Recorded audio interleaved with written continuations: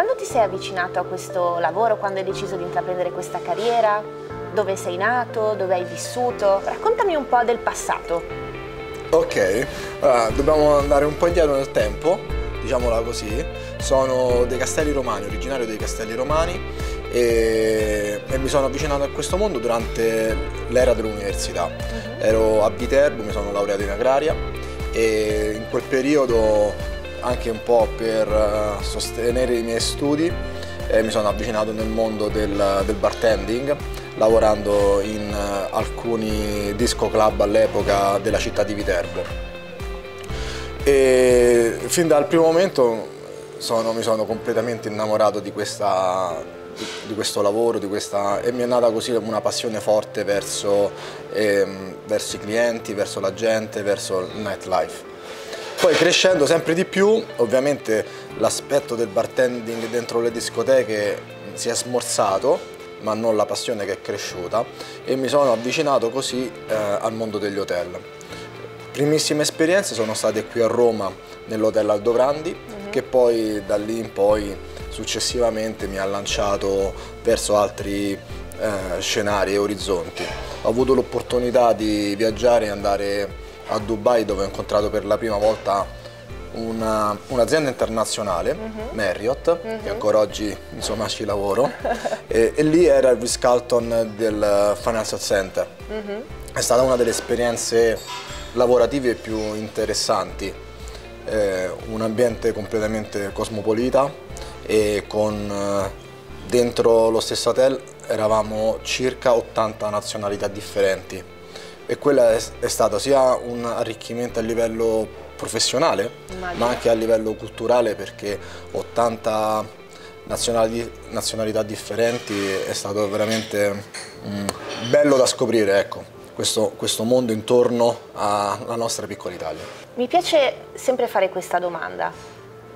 Comunque tu oggi sei, tra virgolette, il risultato di tante esperienze, di tanti insegnamenti del sì. passato. Ad oggi quali porti con te, magari quali vuoi trasmettere al team? Quali sono i valori eh, fondamentali per fare questo lavoro? Occorre essere leali sia verso i clienti e quindi mh, mm, mantenere la promessa del servizio e, e poi essere anche leali con i propri colleghi, nel senso si affrontano molte volte bellissimi momenti, in quel caso si è sempre amici, però in realtà momenti più, nei momenti più difficili no? che occorre essere vicini e occorre essere leali. E allora eh, dalle sconfitte si impara e si riesce a crescere insieme. Mm, in realtà non c'è un, un, una sola esperienza che ricordo e porto con me come esempio unico, mm, ma in realtà è tutto un susseguirsi di tantissimi ragazzi con cui ho lavorato insieme e ho avuto anche la fortuna di lavorare con professionisti di spessore internazionale, eh, dai quali ho imparato molto. Anche oggi ho la fortuna di eh, far parte di questo gruppo dove il nostro general manager Christian Zannondonella è davvero a inspirational person che tutti i giorni eh, ci dà un, una motivazione in più per fare bene il nostro lavoro. Parlando con te da pochi minuti percepisco una grande sensibilità nel modo in cui parli, sì. nel modo in cui magari vedo che mi ascolti. In che modo è fondamentale avere questo, forse questo dono, perché è un dono la sensibilità nel tuo lavoro e in che modo poi eh, questo ti permette di avvicinarti sia al team sia agli ospiti? Um, allora, è, è, sia un dono ma anche una caratteristica che ho migliorato negli anni. Mhm. -huh. eh, avere la sensibilità di parlare e di cogliere eh, gli aspetti emotivi delle persone oggi è veramente rilevante nella professione che faccio. In effetti il, il servizio 5 Stelle Luxury, definito così, no? eh, stiamo eh, spingendo sempre di più le attenzioni, oltre che a del taglio dei tavoli, dei bicchieri, del servizio, de della qualità del cibo, ma stiamo veramente spingendo l'attenzione a toccare l'emozione all'interno delle persone. E, e allora, ecco, dopo tutto questo percorso si, riesco ad oggi a leggere eh, tra le righe, riesco ad accorgermi eh, grazie all'esperienza che ho maturato, le emozioni che le persone intorno a me vivono e questo è utile sia verso i nostri clienti ma anche eh, essere responsabile di un grande team come quello che ho oggi eh, mi permette di essere vicino a tutti loro e diciamo a tutte le loro famiglie, no? perché non è soltanto un dipendente singolo, ma bensì dietro ogni dipendente c'è anche una famiglia, un fratello, una madre, una moglie, un bimbo. Questo è, è un dettaglio importante che mi fa piacere ascoltare difficilmente si incontrano persone magari che hanno sì. questa sensibilità nel capire che comunque il team è fatto di persone e le singole persone, come dicevi tu, hanno una famiglia. Fai questo lavoro da diversi anni, hai avuto la fortuna di viaggiare, di provare, di lavorare in diversi ambienti. Secondo te, da com'era questo lavoro, come è diventato? Quali sono stati i cambiamenti? Al di là, sì, come dicevi prima, del fatto che c'è un luxury, un lusso diverso. In che modo proprio giorno dopo giorno, magari anche dopo quello che abbiamo vissuto negli ultimi anni, è cambiato? Oggigiorno il, il vero luxury è il momento, vivere al 100% le, mm, eh, l'esperienza all'interno di questo spazio, in questo ristorante, nel bar, nella living room, nella stanza. Il momento è diventato il vero, secondo me, no? il vero luxury avere il tempo per spendere insieme a una persona, insieme a un amico, insieme uh-huh. a un conoscente e, e, dopo tutto il nostro background a livello di ristorazione, a livello di hospitality, eh, è quasi diventato inopportuno bere un cattivo caffè o che non sia servito bene o che non sia a giusta temperatura o che no, addirittura non sia buono. E quindi secondo me oggi l'hospitality, la luxury hospitality è essere sempre presenti, sempre ad altissimi livelli eh, qualsiasi eh, sia il prodotto o l'esperienza. Abbiamo parlato del tuo passato, finalmente so qualcosa in più sì. di te.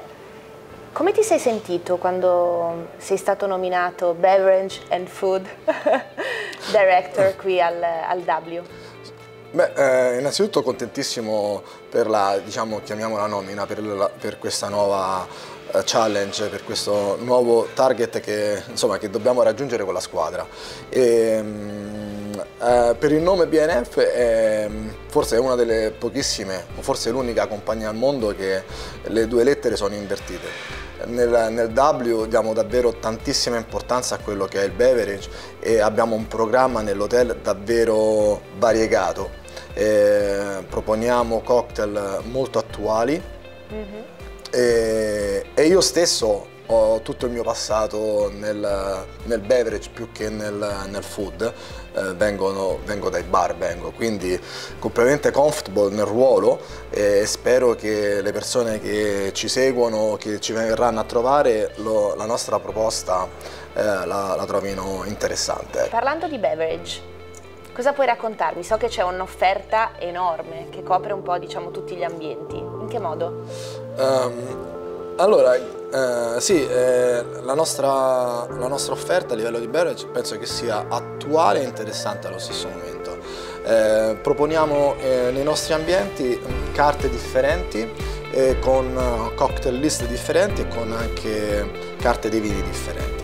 Ehm, la, il, il, mio general manager mi ha chiesto, insomma, no, eh, un po' di tempo fa, prima addirittura che aprissimo l'hotel, di trovare una carta di vini eh, poco formale. Ecco, non vogliamo dividere i vini in bianchi, rossi, eh, bollicine rosati, ma bensì eh, abbiamo diviso la nostra carta di vini seguendo le nostre, ancora una volta seguendo le nostre emozioni, ovvero abbiamo dato eh, rilievo per esempio alle donne del vino, a tutte le produttrici oggi che fanno vino, eh, le, le, maggiori rappresentanti che vanno dalla Sicilia fino mm -hmm. al Trentino Alto Adige. Sì.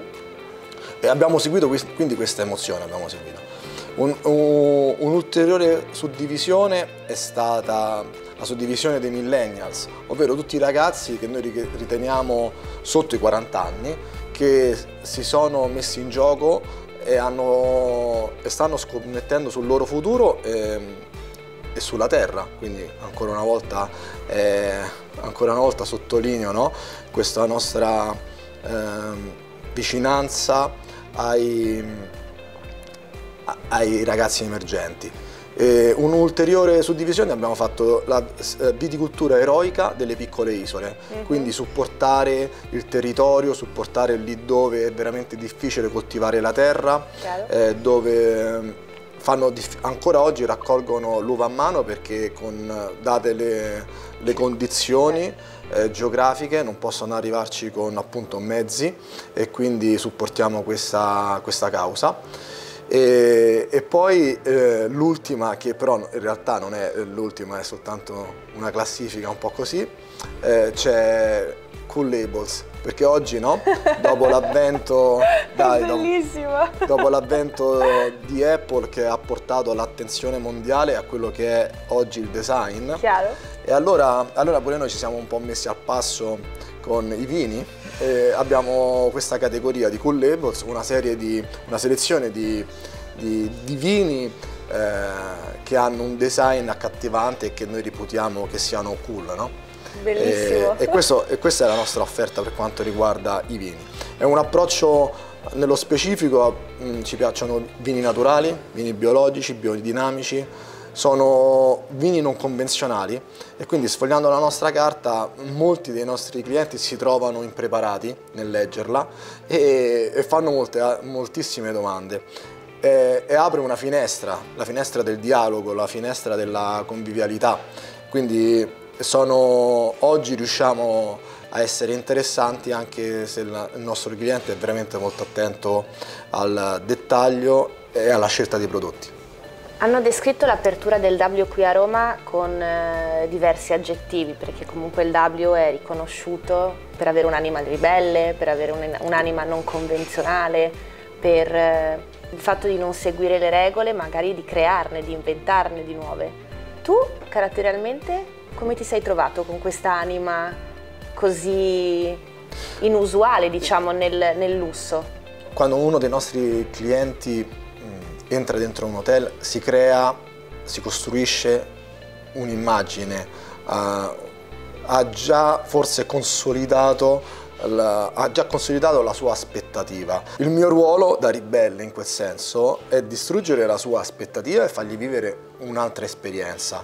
E, e, e, noi siamo, credo che noi quello che stiamo facendo siamo bravi in questo perché nessuno di tutti i clienti con i quali ho, ho avuto l'opportunità di parlarci si sarebbe mai aspettato quello che facciamo oggi tutti i giorni con il gruppo in sala, al bar, in stanza e, e questo mi affascina moltissimo e sono veramente contento di vivere questa esperienza con loro perché io faccio parte e vivo l'esperienza insieme ai nostri clienti.